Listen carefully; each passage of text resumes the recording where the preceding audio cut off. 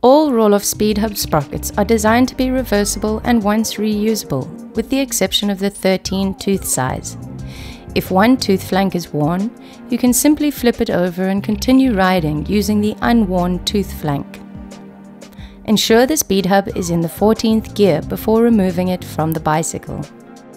To complete this procedure, you will need a new sprocket, unless reversing the old one, a Rohloff sprocket remover tool, article number 8501, a 24mm wrench, a chain whip, and some grease.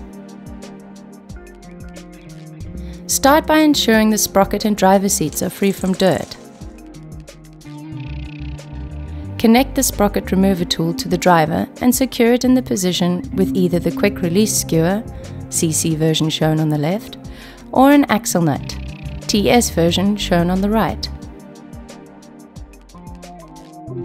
Securing the tool with a quick release skewer or axle nut is vital to ensure the driver is not damaged during the process.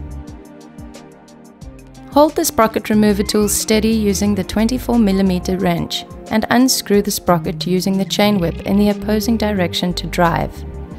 This is best achieved using a sudden shock action. The loosened sprocket can now be removed over the sprocket remover tool and can now either be reversed or replaced. Whichever the choice, ensure the new seal surface is clean and burr free so as to avoid potential oil loss after mounting. Before mounting, lightly grease the sprocket thread.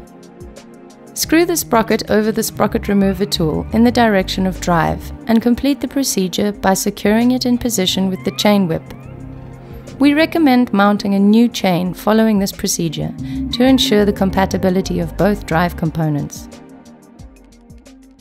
For further information, visit us online at www.rohloff.de or refer to your local bike shop. We thank you for your interest.